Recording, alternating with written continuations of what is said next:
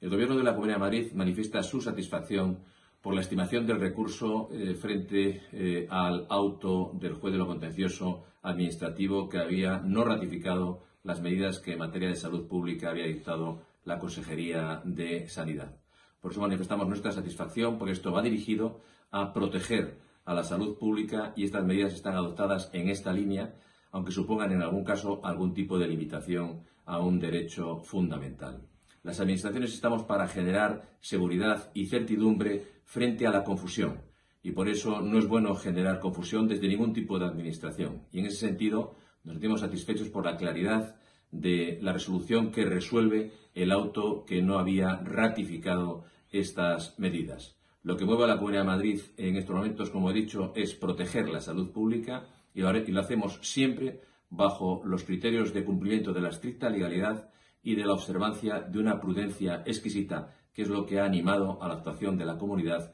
en todo este periplo. Medidas que ya están en vigor en este momento y que serán de aplicación inmediata precisamente porque no hay que perder ni un minuto en proteger la salud pública.